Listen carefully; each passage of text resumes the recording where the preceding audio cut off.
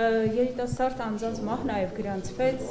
կխնդրեի նշել իրենք իրոք ունեցել են ուղեկցող ինչ որ հիվանդություններ, որոնք ազդել են մահվան պատճառ դառնալով վարակի հետ միասին եւ նաեւ դուք ձեր ուղիղ եթերի ժամանակ խոսեցիք սխալների մասին, եթե դրանք չլինեին, ձեր գնահատմամբ արդյոք այժմ կունենայինք 10000-ից ավելի դեպքեր եւ արդյոք մահվան դեպքերը այսքան շատ կլինեին նախ ես խոսեցի մեր սխալների մասին, բայց կարծում եմ մենակ մենք չենք այս իրավիճակի համար պատասխանատու եւ պետքա իրավիճակը ավելի լայն նայել ու ընդհանրապես հետադարձ հայացքով նայել։ Երկրորդը երիտասարդ մահերը դժբախտաբար այո ունեցել են ուղեկցող ծանր հիվանդություններ, որոնց կոնկրետ դեպքերում անդրադարձել ենք, բայց նաեւ միշտ ֆիքսում ենք, որ չկա երաշխիք, որ նույնիսկ առանց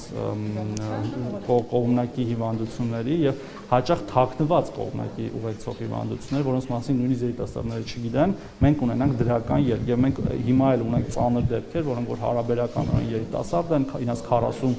40-ից 50 տարեկանի շրջանակներում, 50-ից 60 տարեկանների շրջանակներում, որոնք որ շատ ծանր են ու ու նաև մահանում են։ Հետևաբար ասել, որ երիտասարդները պաշտպանված են առավել, քան մեծահասակները, կլինի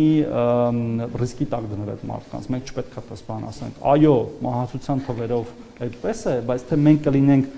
ես ինքս օրինակ վարակվելու դեպքում մահացողների մեջ թե ապրողների մեջ ոչ մեկ չի կարող ասել։ Պարոն Թորոսյան, Հայաստան կուսակցությունը դիմում է դատախազություն Չէ, դատախազություն է դիմելու, այսպես վիրուս կորոնավիրուսի դեմ պայքարի հետ կապված իրավական գործընթաց սկսելու։ Հնարավոր համարում եք նման գործընթացի Ես ճիշտն ասած դատախազների փոխարեն չեմ կարող։ Պարոն Թորոսյան, ուսավոր Հայաստան խմբակցությունից ձեզ բավական շատ քննադատում էին եւ ասում էին նախարարը թող գործով զբաղվի, ոչ թե Ես արձագանքել եմ իրանց ասածին, թող իրանք էլ գործով զբաղվեն ու Facebook-ում ստատուսներ չգրեն